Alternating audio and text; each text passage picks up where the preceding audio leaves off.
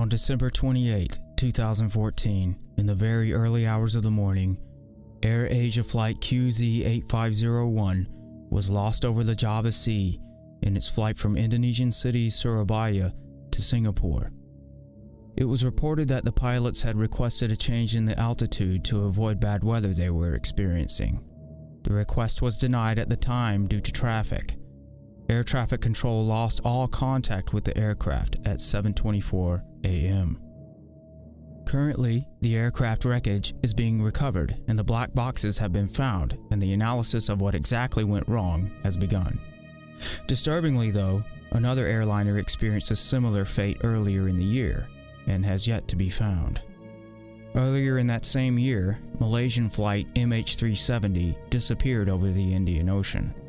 Sadly, no trace of the plane has been discovered, and the mystery may never be solved. This incident immediately brought to my mind Air France Flight 447, which crashed in the Atlantic in 2009.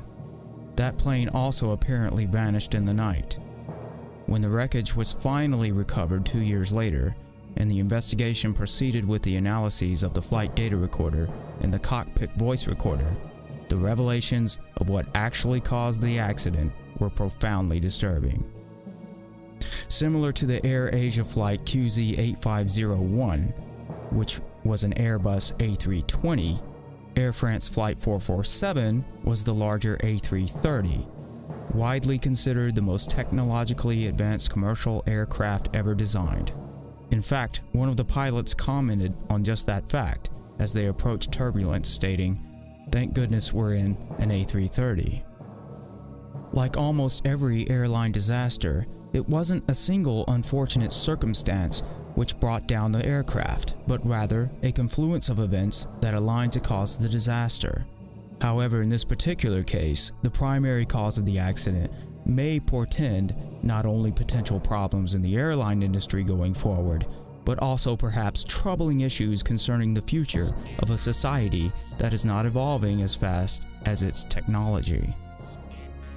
To briefly summarize the events of the disaster, Flight 447 was traveling over the Atlantic Ocean bound for Paris, France, from Rio de Janeiro, Brazil, when it encountered weather and turbulence.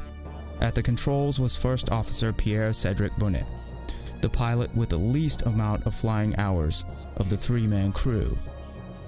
In the left seat, taking on the role of pilot not flying, was First Officer David Robert, with twice the flying hours of Bonin and significantly more flying hours on the A330.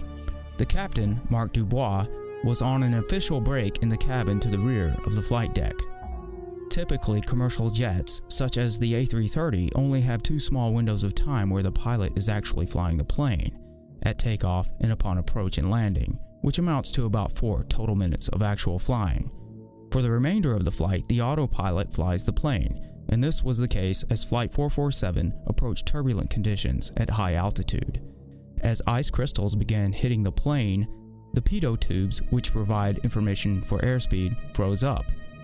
With the information for airspeed unavailable, the autopilot kicked out, and Bonin took full control of the plane, taking the joystick controller in hand.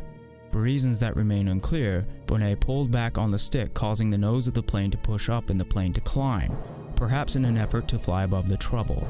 As the plane climbed, it began to lose airspeed. As indications became online, stall warnings began to sound. Indeed, Bonin's actions had put the plane into a nose-up high altitude aerodynamic stall, and at a certain point, it began to literally fall out of the sky. The pilots did not trust their indications, and when the captain returned, all three were unable to determine the situation they were in. There was an intense sense of terror and confusion on the flight deck. They knew they were losing altitude.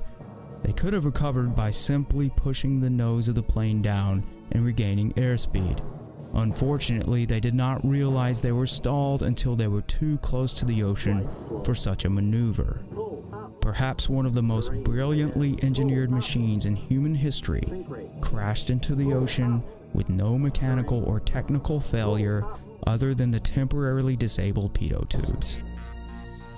Technology is advancing rapidly, and perhaps this airline disaster reveals the potential vulnerability of our growing dependency on technology.